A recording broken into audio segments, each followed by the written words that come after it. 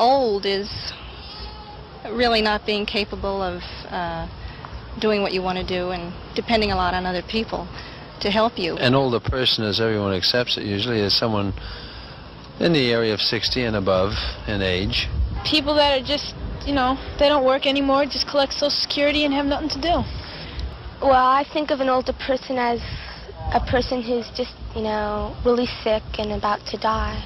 I don't think it's a positive term, and especially in our society. I think senior citizens tends to have derogatory connotations. A person is putting himself down, I think, if he considers himself old. Because you're only as old as you feel. Don't you know that it's worth every treasure on earth if you're young at heart? Young at heart. For as rich as you are, it's much better by far to be young at heart.